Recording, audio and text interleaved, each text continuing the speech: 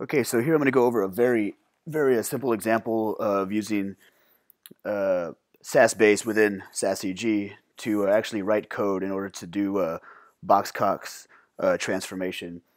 Uh, Box-Cox transformation is basically a transformation, nonlinear transformation on your dependent variable. So when doing ordinary least squares, sometimes, well, many times actually, your dependent variable will violate the assumptions of ordinary least squares. And when this happens, a lot of times it helps to convert or to transform the data rather your independent variable to something that's more more normal and this is what the box-cox transformation does.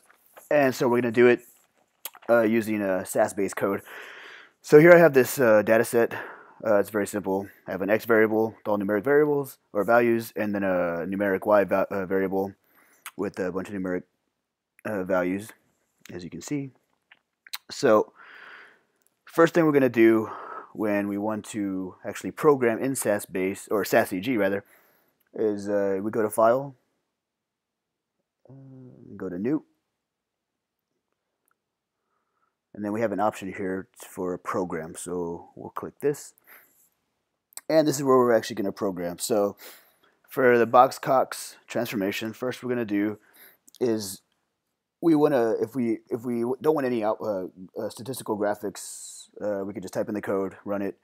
You know, it's all, all that good stuff. But a lot of times, you know, it's good to see, to visualize what's going on. So what we want to do is first turn on our graphics. So we do ODS. And one of the great things about programming in SAS, uh, SAS EG, uh, which doesn't happen in SAS base, um, is that you get these options. Like it, it pretty much gives you hints and from where to go from from where you type. So ODS, and then we want graphics, so we can just double click it. And then it's either on or off. So since we're just starting the program, we'll do on. And then make sure you put semicolon. Okay, so first thing we're going to do is call on the actual procedure that will allow us to do the Box-Cox transformation. So we have, we're going to use a proc step. So whenever you're doing a procedure, it always starts with proc. And then for the Box-Cox, it's called trans reg which is that right there. And then we have to specify which data set we're going to be using uh, for our data. So we type in data and then equals. So this is actually going to be in a work file. So we can double click work and then put a period. Then it tells us what our options are to choose from for uh, our data sets. So the data set I was working, if you see on the left hand side, is uh, uh, titled BC under, uh, underscore example one that text. So that's the file we're going to use. So we can just double click it.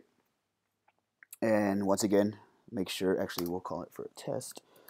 And then we close it with a semicolon. All your statements, make sure you have to have to end with a uh, a semicolon. So after we've called on the procedure, now we have to specify the model. So we type in model and it gives us what kind of models we want. So we want to do a box cox and then we just pretty much tell it uh, the variables we want. So this is saying that we want a transformation on the variable y, and then this identity will basically just keep keep the x values the same. So we want to transform y, our dependent variable, and leave our independent uh, variable alone. And then we close that statement with a semicolon. And then we do output out. So we're basically going to output this information into another data set called, we'll call this transformation. And we end that with a semicolon. And then we go ahead and run this.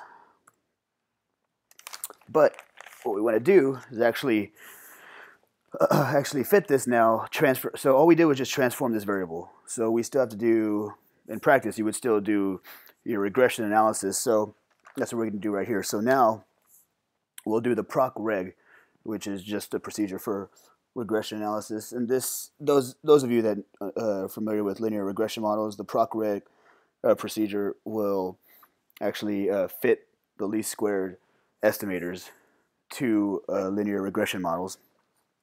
So here we can do the same thing. We're, we're going to call the procedure the PROC-REG. So it's PROC, and then you see our options, reg.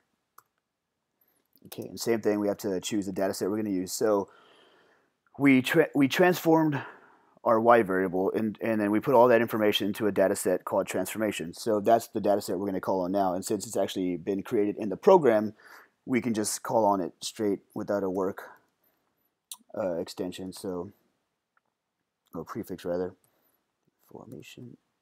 Okay, so we have the procedure, reg, data equals, and then our data set transformation that created in the previous procedure.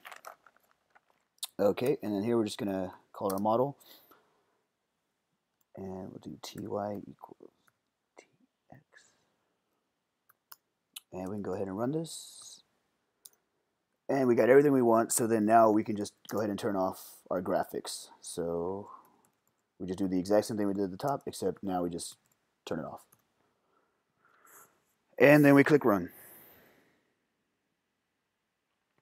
And here we go. Here's all of our our information. There's a lot to go into, but this, I'll, just, I'll just keep this very basic. So this is all of our statistics, everything we would use to see how our how our uh, data was actually transformed, if it's actually normal or not. And that's the whole goal of this to create to make it as normal as uh, as uh, as close to normal as we can possibly get. And this is all of our fit diagnostics to see how well it actually fits. And this is our residual plots. And so there you go. With just a little bit of code, not much, uh, you can do so much, so much stuff. And all this code you can get on the, uh, it's all SAS document. It's all you can get on the uh, uh SAS uh, uh, web page. But once again, it's just a really quick, simple way of doing a Box Cox uh, transformation.